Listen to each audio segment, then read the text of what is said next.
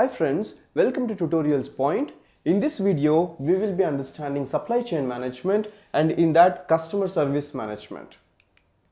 These are all the subheadings we would be covering in this video. Transportation, packaging, inventory services, contingency management and then warranty claim and investigation. In transportation, we need to understand the proposal which was given during the feasibility analysis.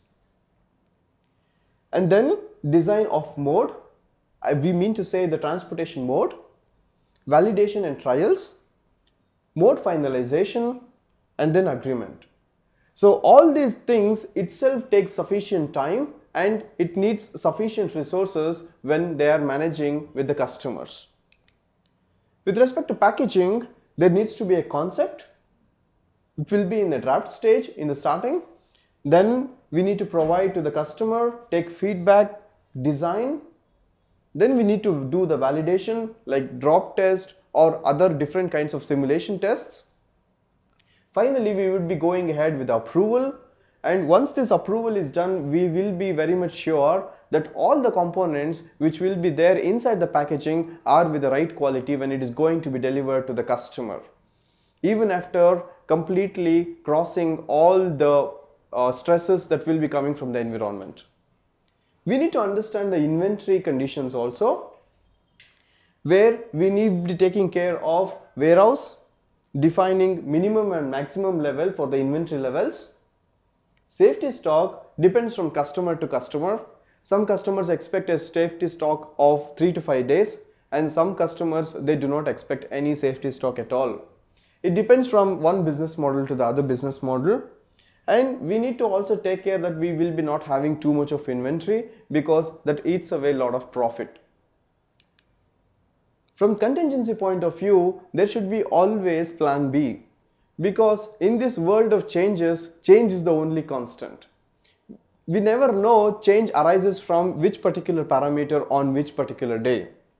So there can be last minute changes from customer itself Key equipment can be a failure sometimes.